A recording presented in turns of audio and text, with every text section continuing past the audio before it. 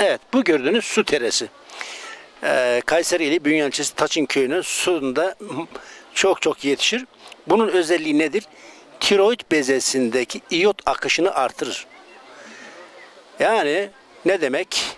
Kişi bunu kullandığında tiroide, hipotiroide ve guatra yakalanmaz.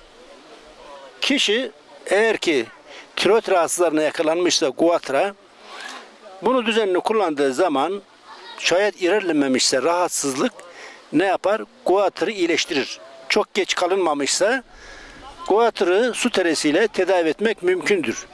Çünkü yüksek oranda iot içerir. Evet.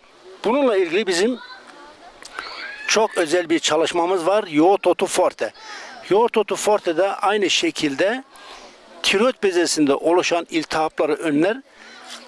Tiroid bezesinde oluşan mikro, çok küçük e, nodüller oluşur, kist.